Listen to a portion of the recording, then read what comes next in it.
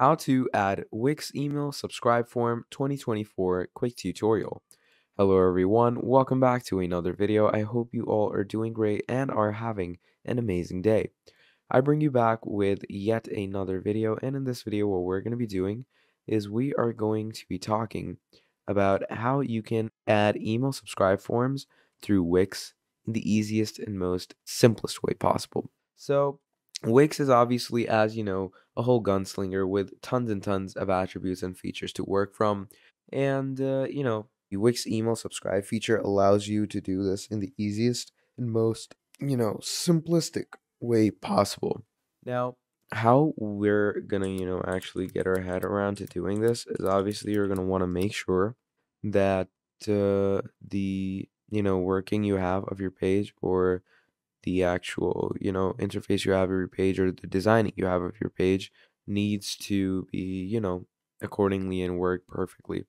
So to start our email subscribing off or to start our email subscribe form off, what we're going to do is I'm going to come here and click on create new site from my dashboard.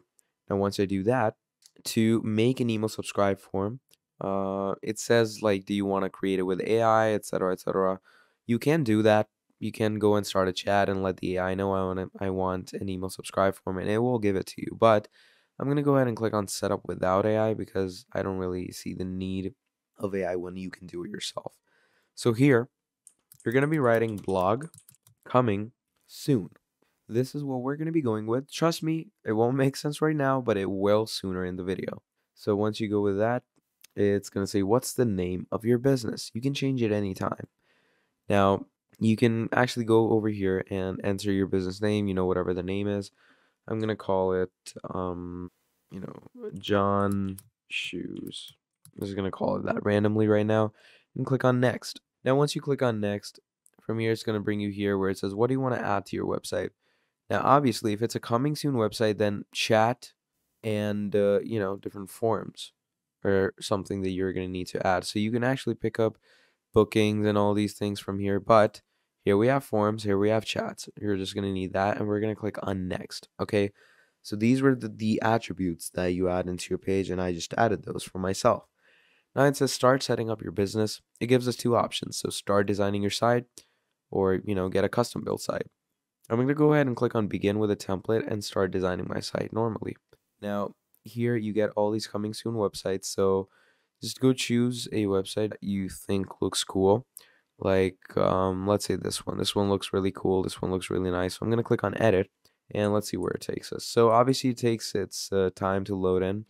So you're just going to give it its time and obviously as it's uh, loading in what we do after it loads in is we go ahead and uh, actually start working into its depth and detail. Now the fun part about using some software like this for yourself is the fact that it gives you so much more, you know, privileges into adding things on your account. And it's a pretty incredible thing to have for yourself. So here it says, let AI write your site content. Now, to let AI write your, you know, uh, site content, it's pretty easy to do that. And you can let just let AI do everything, and it will save you a lot of time. But obviously, right now, I'm going to go ahead and explain to you how you're going to do this by yourself. So once you're over here, okay, what you're going to do from here is obviously you can zoom in and zoom out of this if you want to. I'm going to keep it here so I'm a bit zoomed in. Now, once we are over here, you know, you have one page, which is your basic main home page. And from here, you can actually start designing, okay? And you can start getting into the actual depth and detail of, uh, you know, adding your email subscriber form. And it's really simple. It's really easy. I'm going to walk you through it in like about a few minutes. So, first of all, you have your home over here. You can keep that home right there because you need to have a basic header concept, and this is our basic header concept. Then you have your logo, okay? So let's say, as I said, my name was John, and I'm just going to call this S. I'm going to write S over here. So John S. And now it says, great things are coming. Now it says, learn more. So let's say I'm going to write over here, new stock will be here shortly. And here it says get, I'm going to write get notified. Now, the reason I wrote get notified is then people will want to get notified when the new stock comes up. So they're going to click on this. And what will this do? You can see that it's hyperlinked to something. So it's hyperlinked to a pop up box. Now, to check that pop up box out, you can go into pages and menu. And here it says pop up box. And look at that. This is going to be your email subscribe form. Okay. Now, if you want to change this for yourself, because this is your basic light box, let's say I'm going to delete this. And if you want to add your very own, let me show you how you're going to do that. So to do that, I'm going to click on add. Okay. And once you click on add, what I'm going to do is I'm obviously going to add a page. Once we go and add a page in this ads page section, you know, I'm just uh, going to take a blank page with the same color scheming as this. There we go. And once you get this, I'm just going to remove any text on it. Okay, I'm just going to call it that. Click on done. Now, once you do this, over here in start your designing section, what we're going to do is we're going to come to add elements. And once you go to add elements, here you're going to see contact and forms. So once you see contact and forms, here you are going to see all these contact forms with the email subscriber lists and all. So obviously we are going to want to add a good form that matches the color scheme of this page. So let's go ahead with this one over here. Go ahead and add that right here. And once we add that right here, there we go. And you can actually change the color of this form. So you can go into your form settings.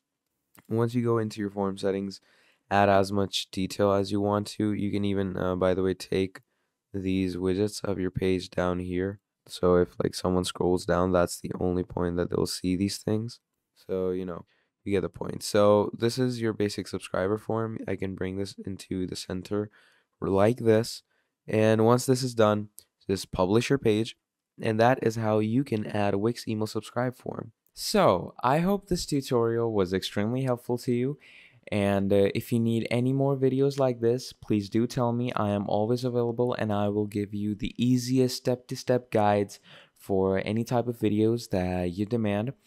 And uh, if you have any queries regarding this video, you can let me know down in the comments. And uh, yeah, I guess I'll see you next time. Before signing off, please like and subscribe to the channel and uh, leave down a nice comment if you watch the video. And please don't forget to share this video with uh, any of your friends in need or your family. And uh, I hope you all have a great day. So until next time, I'll see you later and goodbye.